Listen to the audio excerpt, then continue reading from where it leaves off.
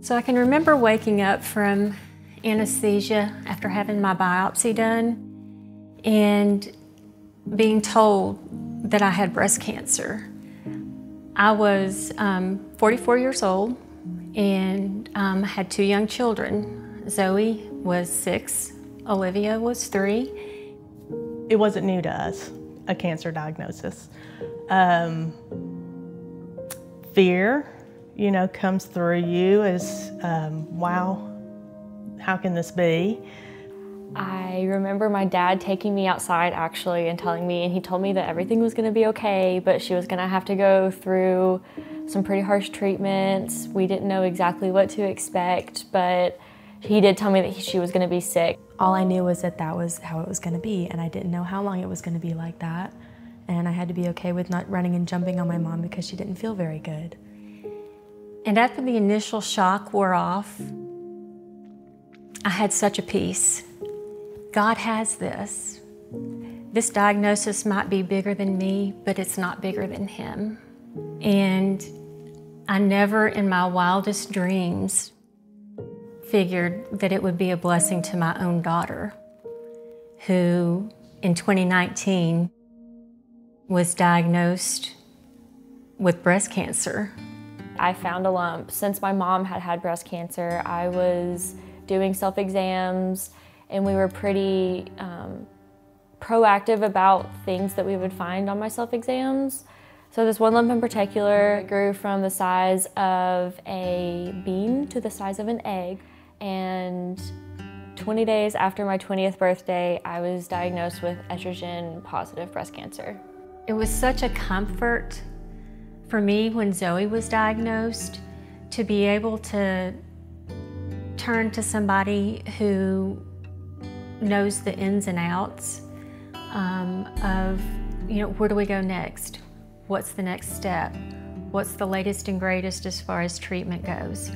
And the Mary Ellen Locher Center provided that through nurse navigators.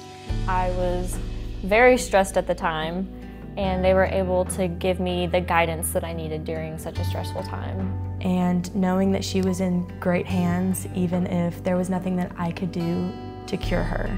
That the people that were there for her were just amazing and giving her anything that she could ever ask for, want, or need. When I was diagnosed at 20 years old, they were concerned because 20 year olds don't really get diagnosed with breast cancer. So I got genetic testing done. And all of us except my father were positive for the BRCA2 mutation. Because of Zoe's young diagnosis and my genetic mutation, I decided to have prophylactic bilateral mastectomies at 16. It was really nice that the hospital was able to provide so many good resources for us because we didn't know what we were doing and we didn't know much about genetic mutations to begin with. And my sister also tested positive for the BRCA mutation. I had decided before I was even tested that I was going to um, have a bilateral mastectomy if I was positive to help prevent breast cancer. Little did I know when I had my mastectomy in March that most likely I already had breast cancer, but it was in my lymph nodes. Then she went through the chemo and radiation and got a tremendous amount of support from the Mary Ellen Locher Center. And in June of, of this year, I am cancer free.